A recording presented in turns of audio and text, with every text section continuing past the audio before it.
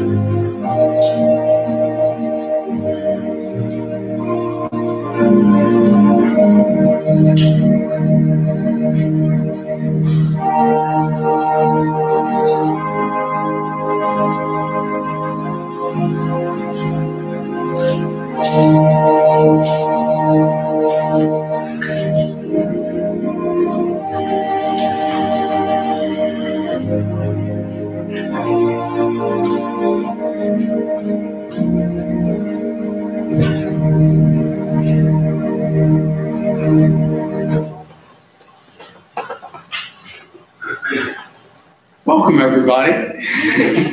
it's so good to be here. And I'm so glad that you're all able to come out.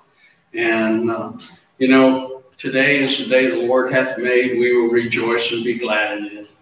Um, some of our announcements today there's a diaconate meeting on Wednesday. Um, we, we do have some some things going on with uh, trustee business, but that seems to be taken care of. Praise the Lord. Hallelujah. And so uh, today is just a great day to be together. What a beautiful day this is. Isn't it pretty? I, I, can't believe it that he could outdo yesterday for today. Um, and I'm, I'm so grateful for all that God's done this week and, and the things that he's doing. But uh, I have a few prayer requests that I'd like to just mention, and then I'll uh, read the scripture. Uh, Janet Grimes, uh, she's at home with a really, really, really bad uh, sinus headache. Uh, we, we always want to remember to pray for our travelers, and especially our schools and our kids and our teachers right now, because this is a, this is a time when everything's kind of in an upheaval. Nobody knows what's going on yet. But anyway, pray for them. And then Richie Zola, I don't know if y'all got the prayer request this week about Richie. He does have Rocky Mountain spotted fever. Uh, he just started antibiotics, and it should be a uh, probably a little bit longer cure than it would normally be. But uh, and the good news is, is they tested him for COVID, and he is negative. So we're, we're pretty pretty happy about that. And uh, are there any other other announcements that I'm forgetting or leaving out? Anybody? You folks uh, via the internet, I I'm sorry I can't uh, I can't take your requests this way. but you can you can email them in to me if you want. But anyway, uh, today's scripture. Um, Psalm 63. I don't know if you're familiar with Psalm 63 or not, but we used to teach this as a song to our kids. Um, O God, thou art my God, early will I seek thee. My soul thirsteth for thee, my flesh longeth for thee in a dry and thirsty land where no water is. To see thy power and thy glory, so as I have seen thee in the sanctuary. Because thy loving kindness is better than life, my lips shall praise thee, thus will I bless thee while I live. I will lift up my hands in thy name. My soul shall be satisfied with marrow and fatness, and my mouth shall praise thee with joyful lips. When I remember thee upon my bed, and meditate on thee in the night watches, because thou hast been my help, therefore in the shadow of thy wings I will rejoice. Let's pray together.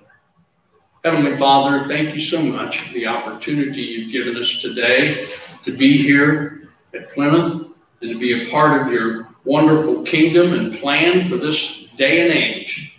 God, I would say last hours of, of eternity, but we don't know that. And Lord, though it may appear to be that, we are truly thankful that you've given us this time, as, as uh, Esther said, for such a time as this. And so, God, today we do live in a, in a precarious time and world, but God, you've given your church the opportunity and the call and the responsibility to go into all the world and preach the gospel. So today, our God, we ask your blessing upon our service here, upon the services that are going on across this world. That God, you would bless the pastors, bless the hearers of the word, and God, that your Holy Spirit would be in each and every service. Now, our God, today, we ask this in Jesus' name. And everybody said together with me, Amen. Well, let's sing our first hymn, okay?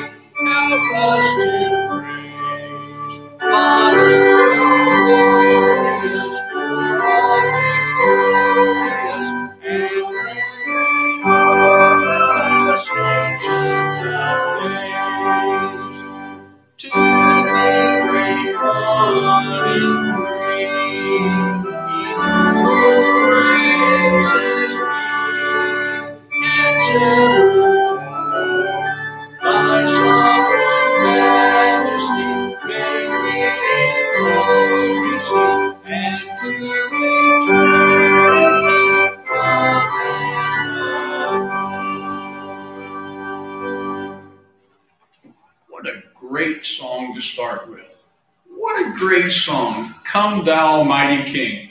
In the middle of everything that's going on, Lord Jesus, come quickly. That's my prayer today, that He would come quickly. But I know that He's given us a responsibility and He's given us a call to go and preach the gospel.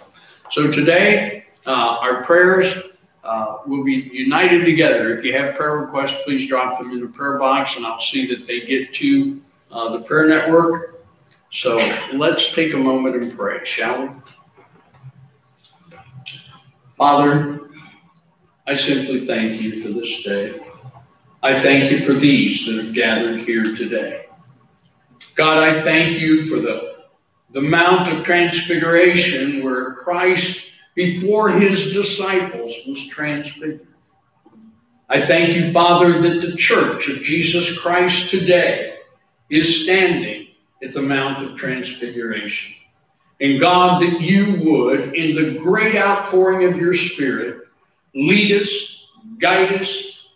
If it's into the next millennium, God, we just ask your hand to be upon us. But if you come today, we ask the same, your hand to be upon us. And our God, today, we pray for those that are sick and need healing. We pray for those that have uh, relationships that need to be mended and healed in our God today, that you, you would bring to us the very power of the gospel of Jesus Christ to live our life every day as you would have us to live. And Father, as we pray together today, we pray for our families to be protected by the blood of Jesus. We pray for our church family, Father, to be surrounded by the hedge of protection in the blood of Jesus. Our God, today we pray for our friends and those who need a touch of your hand. We pray for those who do not know you, that God, today, you, you, Father, would urge us to share the gospel, the gospel of Jesus Christ, the good news. God, I, I remember as a as a very, very, very young Christian reading a book called Good News for Modern Man. I thought it was some kind of a novel, but it turned out to change my life. And God, I thank you for the life changing power that's in your word. And God, may your word be honored and blessed here today. In Jesus' name. And all God's children said, Amen. Amen. Our message today I don't know about you, but this, this new format kind of feels funny to me. But it, it, it's okay because I know some of you won't have to do this at me. Bill.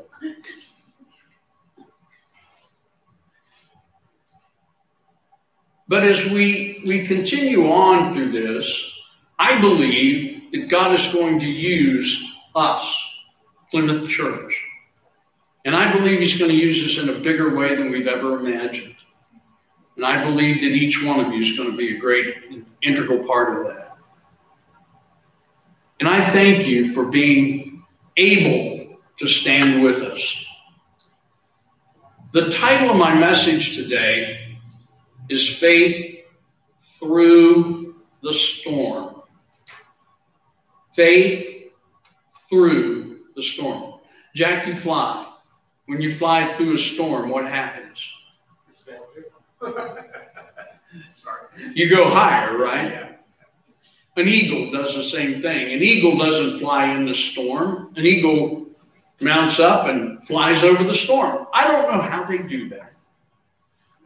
But what I do know today is God's given us the ability to go through the storm. I want you to listen to James chapter 1, verses 2 through 8. I'm going to read the whole thing. My brethren, count it all joy when you fall into various trials, knowing that the testing of your faith produces patience. But let patience have its perfect work, that you may be perfect and complete, lacking nothing. If any man lacks wisdom, let him ask of God, who gives to all liberally and without reproach, and it will be given to him. but let him ask in faith, with no doubting. For he who doubts is like a wave of the sea driven and tossed by the wind. For let not that man suppose that he will receive anything from the Lord, for he is double minded, unstable in all his ways. God gives us some very good insights here as to what he has for us to do and how we're to do it. Okay? First of all, I want to say that I love the Bible. I love God's Word. The book of James, because James is a straight shooter. James doesn't pussyfoot around or tiptoe through the tulips. James just comes out and says what he has to say and says it. He doesn't pull any punches. James seems to have a knack of cutting straight to the heart of the matter. James 1, 2 through 8, we're looking at the topic of faith through the storm. Faith through the storm. Not faith in the storm. We need that. But this is faith through the storm. Faith through the storm. Have I said that enough? Do you have that in your mind? Okay. You see, because life has its storms, doesn't it? And we study these verses today, we learn some very important lessons. You can fall into trials. My brethren, count it all joy when you fall into various trials. My brethren, count it all joy I want to point out here that there's a difference between falling into trials and walking into trials. Would you say that that's right? You know, you can, okay, let me give you an example. Before David was king, he used to serve King Saul. And Saul, tormented by a spirit, would try to give him, David would come and play and try to give him relief. King Saul was picked up a spear and threw it at David, trying to kill him. That was nothing David did. David didn't go looking for that trouble. David was there doing what David had done many times before play on your harp, little David, play, so that he could, he could soothe that rage within Saul. But Saul, at this point, picked up a spear and threw it at David. He didn't ask for that, did he? David had done nothing wrong, but suddenly he's in the midst of danger, one of life's great trials. He fell into that trial. Have you ever been in a trial like that? Something you didn't do, something you didn't say, something you haven't been, or whatever, and all of a sudden you're in the midst of somebody wanting to maybe not necessarily kill you, but make it real nasty. Okay? There are trials that you walk into. These kind of trials don't come by chance. We cause them ourselves. Here's another illustration from David. Y'all know the story of David and Bathsheba, right? Y'all know what he did. Well, David was king. Saul is now gone. David is king, and he's doing his kingly thing, right? Walking around on the top of his roof. Overlooking the wonderful city that he is now the king of. Holy cow, look there. There was a lady on the rooftop below the palace. You know, the palace had to be the highest place. There was a lady on her rooftop taking a bath. And little David walked into this one. Oh, wow. He liked what he saw. He should have walked away. He should have turned around, walked away, and repented at that point. But no, David inquired, Who is that woman that lives in that house? Well, servants went over, knocked. Her name's Bathsheba, and her husband Uriah. He's one of David's mighty men of valor and war.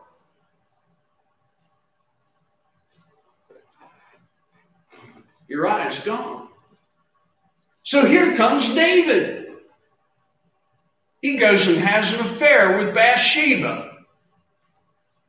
Well, he's the king. He can do whatever he wants. I don't think so. A lot of kings think they can. A lot of presidents think they can. A lot of governors think they can. A lot of people think they can do whatever they want and it's okay. But you're walking in to a trial, to a trouble and a temptation. So what's he do? He sends for Uriah. He, he has an affair with her, and guess what? She gets pregnant. I should have used King James English. She was great with child.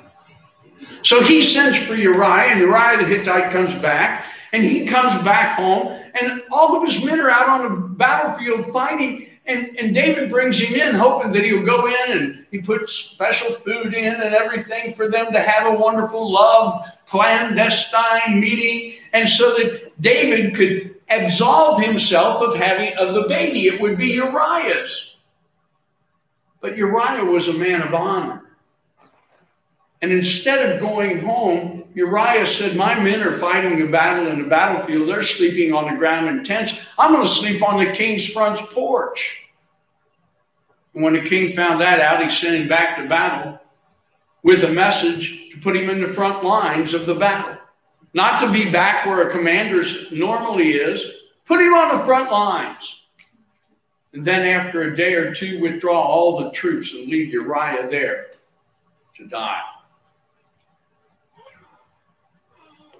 David, trying to cover up his sin, committed murder. No, no, no, no. Yeah, if you hire the hitman, you're just as guilty as the guy that pulled the trigger. Am I not right? Y'all watch CSI and NCIS and all that, and you know that's true. It's on the internet. It's got to be true.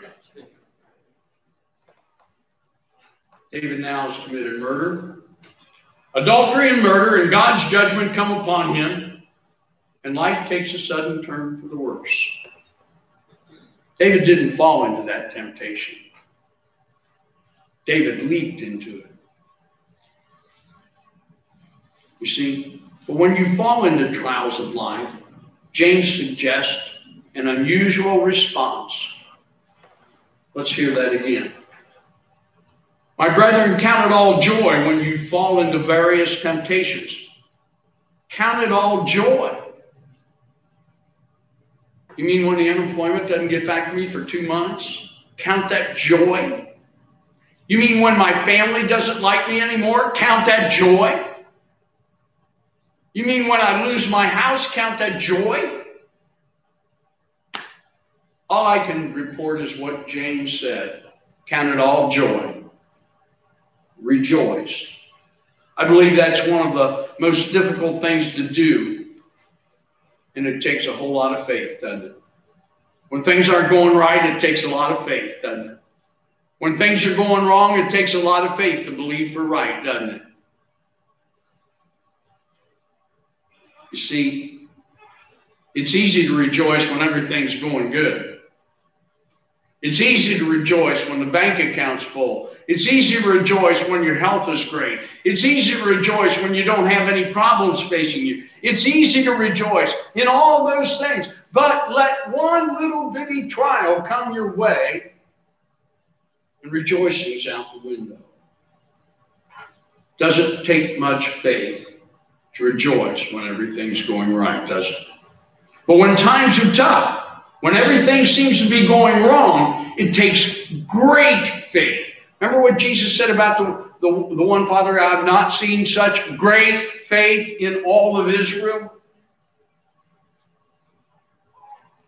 Great faith to trust God, to trust Him enough to in everything give thanks, for this is the will of God in Christ Jesus concerning you. But what's the goal of all this? Well, James 1, verses 3 through 4 says this knowing that the testing of your faith produces patience. But let patience have its perfect work, that you may be perfect and complete, lacking nothing. God wants to produce patience in our lives. I never used to understand that. I used to even tell people, don't pray for patience. Because when you do, you got to use them. I used to think it involved secular reason or circular reasoning. Why do we go through tests to get patience? Why do we need tests? Why do we need patience to go through tests? And it just keeps this up all the time. Doesn't make any sense to me. Didn't make a lot of sense. I used to think, why doesn't God skip the test and give us patience? But the word that we translate patience doesn't mean what a lot of people thinks it means. When we talk about uh, people being impatient, y'all have a picture of Bill Beagle. Isn't that right, Jim?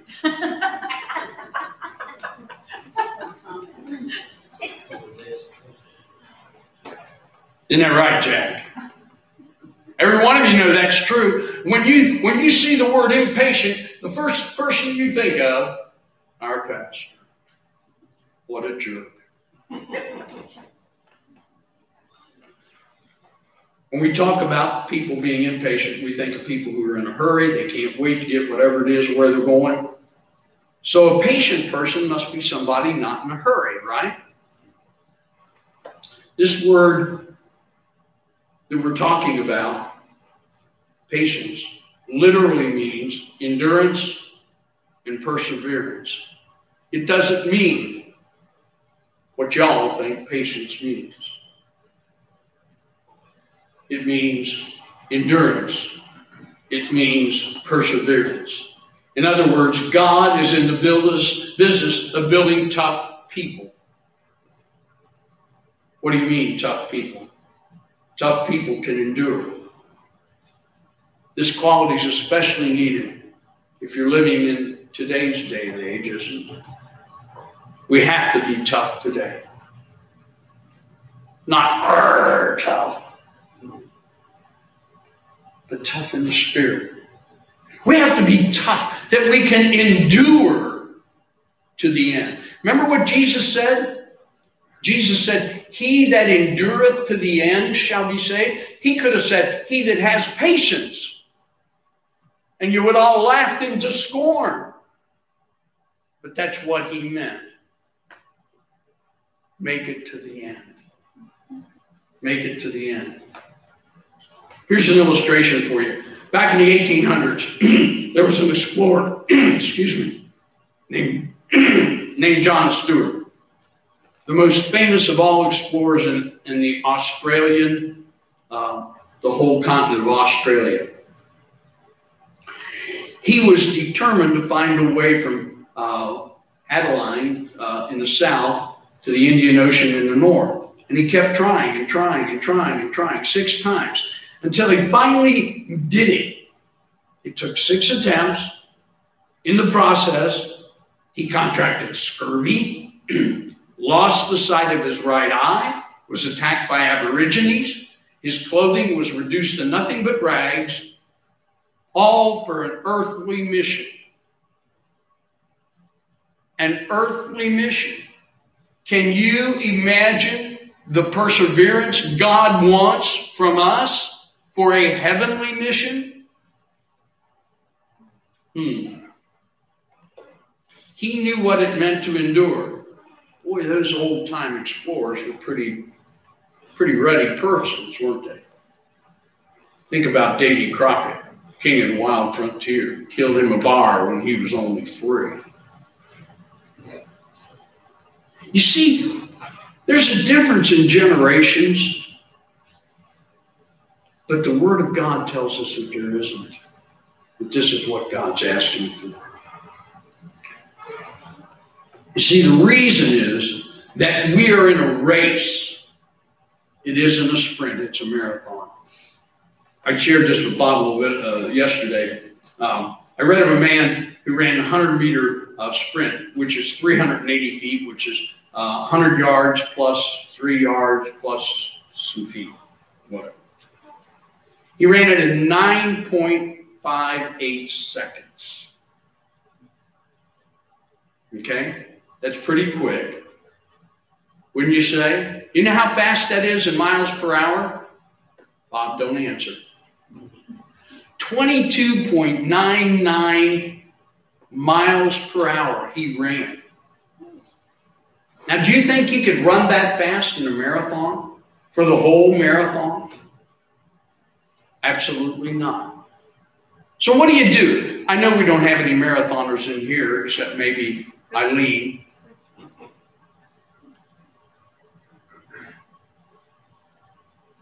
When you train for a marathon, you train in intervals, you train in sprint, you train here, you train there. You do all these kind of things. And the training is this you train for the long run, not the sprint. And so many Christians today, the sprint comes in their minds. They think that this is a, a quick fix. It's not. He knew what it meant to endure. You must be able to go the distance. Must be able to go the distance. What? Which camera? Okay. Okay. I have a I have people to do that.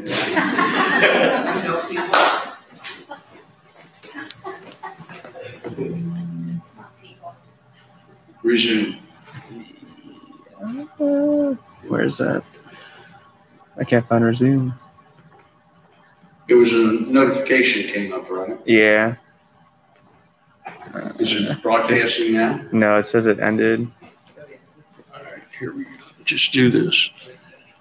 Uh,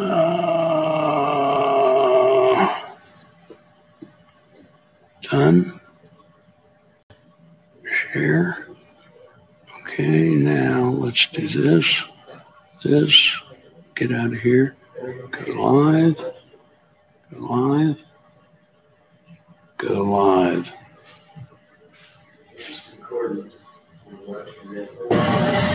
Okay, Facebook. Go live. One, go live.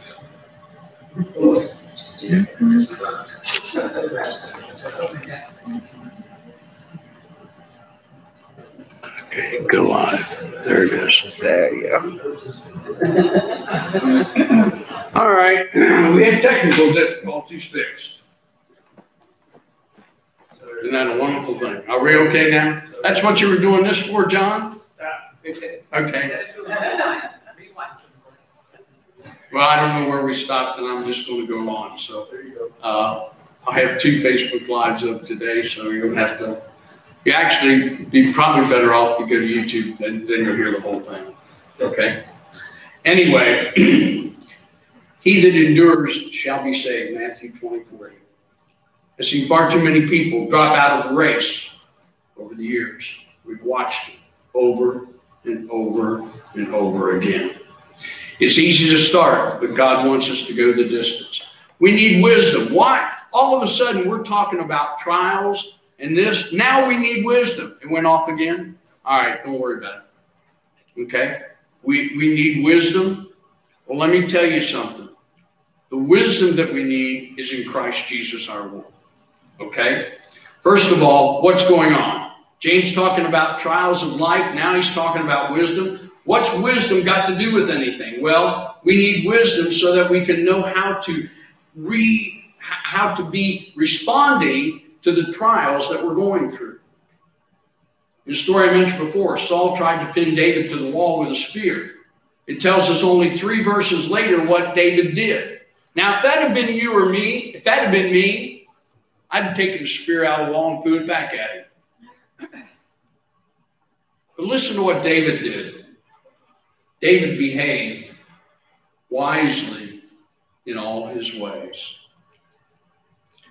There's a, a fellow named Gene Edwards.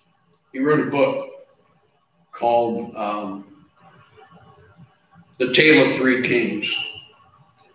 And in there, there's a line, and I want to share this line with you. And it says this He was being interviewed in this segment, and he says, uh, the interviewer says, Well, how do you keep from getting hit with spears? He said, Well, first of all, I don't hang around with people that throw spears. He said, Second of all, I've learned the artful uh, ability of dodging spears.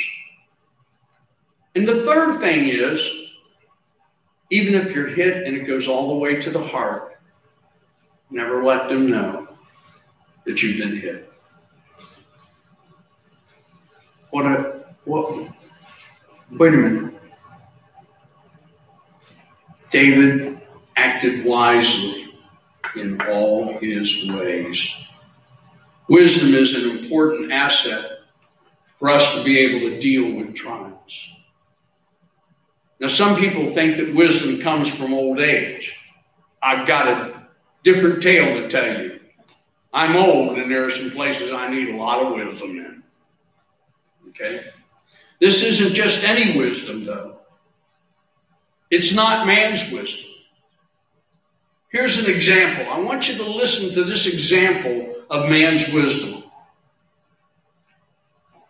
Einstein said in 1932 there is not the slightest indication that nuclear energy will ever be attainable. Roosevelt when he was still the Assistant Secretary of the United States Navy, said that planes could never be useful in battle against a fleet of ships. Of course, that was before Pearl Harbor. Man's wisdom. Charles Duell, Commissioner of the United States Patent Office in 1899, made this statement. Listen carefully. Everything that has been invented has already been invented. Man's wisdom. Do you realize as we sit here and speak today that there are inventions being made more than were in the U.S. Patent Office in 1899 in one day? Kind of amazing, isn't it, what human wisdom is like? Even really smart people can say the dumbest things because of human wisdom is very limited, isn't it? But God wants us to have His wisdom. If you read Proverbs 1 through 9, you'll find a lot of qualities that are associated with wisdom. Their uh, instruction, understanding, prudence, dis, uh, discernment, learning, knowledge. Hello? These are great qualities, and we have them. We need them when, when we're going through trials. So, how do you get wisdom? Well, let's look at James chapter 1, verses 6 through 8. It tells us very clearly how to get wisdom. But let him ask in faith with no doubting in his heart, who doubts like uh, the wave is driven by the sea. For let not that man suppose he will get anything from the Lord. He is double minded and unstable in all his ways. How do you get wisdom? You ask for it. By faith, you ask for wisdom. There have been times I've asked for wisdom and needed it greatly in a certain situation, and they've come through. But there have also been times when I was so daggone stubborn I wouldn't ask for nothing, and I went through a trial of my own making. You see, James says that to get wisdom of God, all we need to do is ask Him. We need to ask in faith. You need to ask believing, trusting that God will answer that prayer. Not that He'll put it on the back burner. Now, God answers a lot of different ways yes, no, and maybe, or yes, no, and wait. I don't like the no's, but sometimes they're better than the yeses, to be honest with you. I'm so thankful that he said no about one girl I wanted to marry, and I ended up marrying her. Thank God for that. Course, I didn't pray about wanting to marry that other girl. I didn't pray about marrying wanting to marry her. My mama did. Boy, isn't it funny how mamas can do things for you that you don't even know? Faith is essential. Listen to what it says in Matthew 11, 23 through 24. For assuredly I say unto you, whoever says to this mountain, Be thou removed, and be thou cast into the sea, and does not doubt in his heart, but believes that those things that he says will be done, he will have whatsoever he says. Therefore I say unto you, whatsoever things you ask, when you ask and pray, believe that you receive them before you put them in your hand. Faith is essential if we're expected to receive anything from God. Jesus said that the condition for receiving anything in prayer is that we first must believe. No doubting, James says. That's the person who doubts is double minded. Literally, that doesn't mean two minds, it means double souled, but it, it, that's incongruent with God's formula. It simply is telling us that we have one voice telling us this and one voice telling us that. And so I ask you, who will you believe? Who will you believe? Will you believe God? Or will you believe Fox, CNN, NBC, ABC, CBS? I'm in trouble now. Who are you going to believe? Well, Bonjour. Y'all know that commercial, right? Just because it's on the internet doesn't mean that it's true. So, what I want you to understand is this don't listen to that. Don't listen to that at all. Be stable in your mind. God wants us to have His wisdom, and the way to get it is through single minded faith.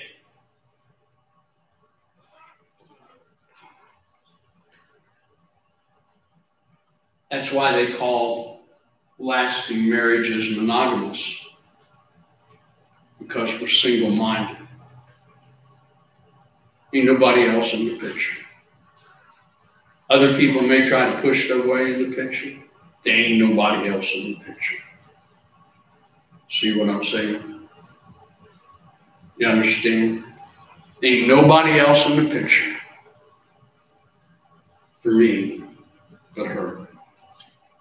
And believe me, I've had the opportunities. But I love her and I love God. And if I say to you in a conversation that I love you, there's commitment behind that. I want you to understand that. I want you to understand that. God wants us to have wisdom, and the only way to get it is through single minded faith. Here are the two qualities wisdom and faith. Without wisdom, how can you know how to respond during the trials of life? But without faith, how can you face the storms of life and rejoice in it? Here's my closing statement God has a plan and a purpose for us, even in these difficult times. Pray with me, please. Father, I truly thank you today. I, I give you praise and honor and glory today that by the power of your word, you will touch and change every heart that's hurt. God, not that we're so vile and wicked we need to be changed, but God, every one of us needs to have our faith increased and needs to have our wisdom grow and needs our Father to be single minded with you. So today, I ask your word to carry the weight of the gospel in Jesus' holy name. Amen. Amen. Our closing hymn, Our God, Our Help in Ages Past.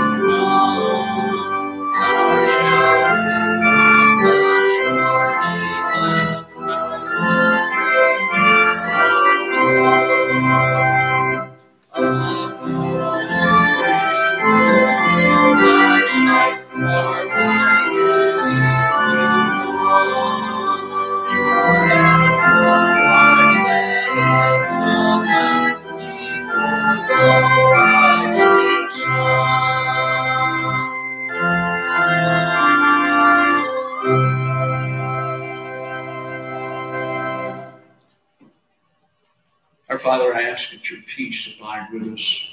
God, that you would dismiss us from this place, but never, ever from your presence. That God, we would be people of faith and people of wisdom.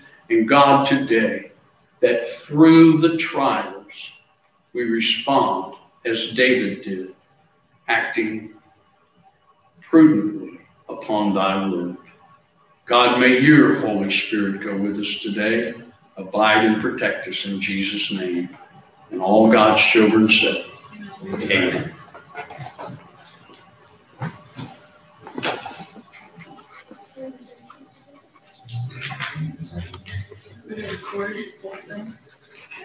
Hmm?